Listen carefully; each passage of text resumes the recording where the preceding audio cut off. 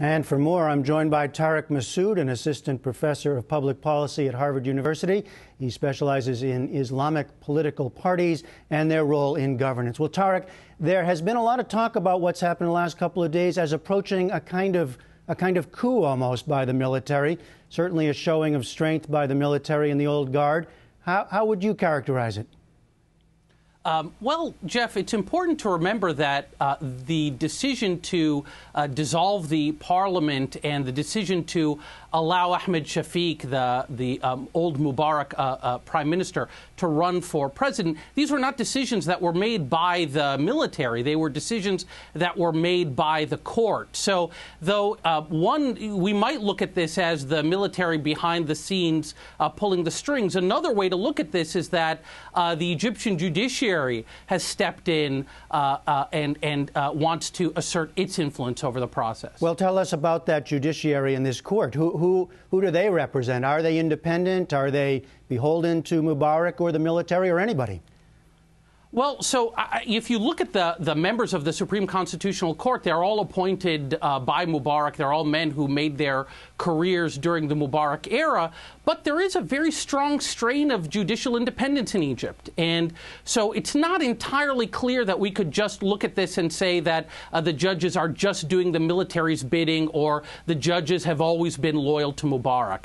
I think basically what happened is this the Muslim Brotherhood, which had the majority in the parliament, didn't do a very good job of building consensus. And so the Egyptian political space was very fragmented. Uh, there was a lot of conflict. And because there was this conflict, because the liberals felt that the Muslim Brothers had broke faith with them, I think this gave the judiciary the opening it needed to step in and uh, clip the Brotherhood's wings. Well, so where does this leave the Muslim Brotherhood? What's their reaction been to the, the call for dissolving uh, Parliament? And I mean, they're still fielding their candidate in the election, right?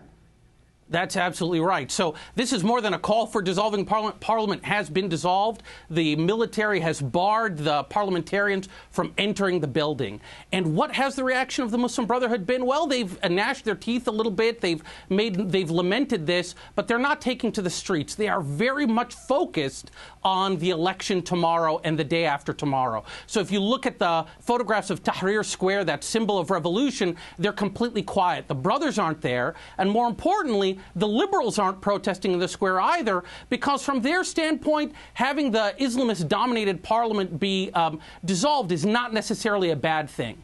Well, well, well, let's fill in that picture a little bit. The secular liberals. I mean, they, they, they, played such a role in the revolution. They, they did not play much of a role in the parliament. They don't have a candidate in this, uh, in this presidential uh, election. So, uh, dashed hopes? What, what, what happened here?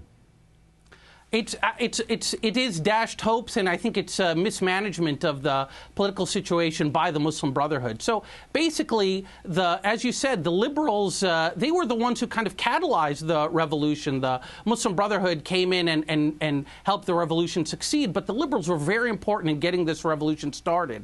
But then once the um, politics moved towards elections, the liberals were not in a very good position. We know that the Muslim Brotherhood is much more organized. They had a lot more experience running for parliament. The liberals had to scramble to get uh, ready to run for election. And as a result, the Muslim Brotherhood and other Islamists dominated the parliament. And the problem is that they then, the Muslim Brotherhood and the, uh, the Islamists, acted as if they had a mandate. And so they didn't really uh, reach out as much as they should have uh, to the liberals. And so when they came to pick the committee to write the Constitution, the liberals felt that they were underrepresented. And, uh, and so as a result, there was this just tremendous uh, conflict. And the, there was some hope the, with the first round of the presidential election because a liberal candidate did pretty well, got uh, almost 21% of the vote. And that should have indicated to the Muslim Brotherhood that it needed to change its ways a little bit and reach out to uh, these liberals. But that's not what happened. Well, let me just ask you in our last minute. I just want to pick up on something we heard in that ITN piece. The person who said, talked about expectations about what would happen if Mubarak fell, then everything would change. And now it becomes clear that perhaps, or it's not clear, but perhaps not as much is changing as people thought or expected.